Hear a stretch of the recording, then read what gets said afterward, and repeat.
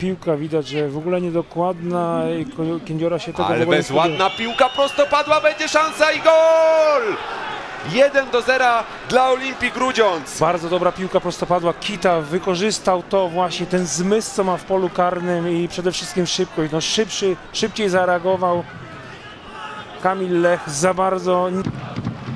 Znowu ma dużo miejsca i dużo czasu, żeby pokombinować. Dośrodkowanie pogubili się piłkarze ruchu, szansa i gol! Ależ bramka!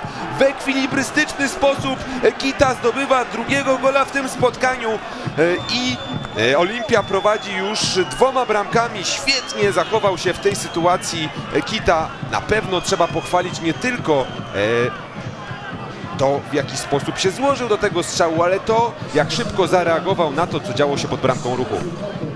Tutaj powiem szczerze, kuriozalne zachowanie obrońców drużyny, Chorzo- e, drużyny z Chorzowa.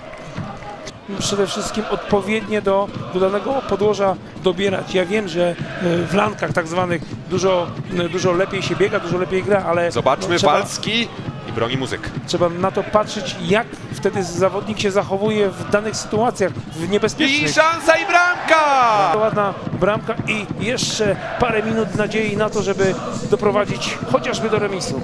Trochę odwróciły się te ofensywne proporcje, ponieważ dośrodkowanie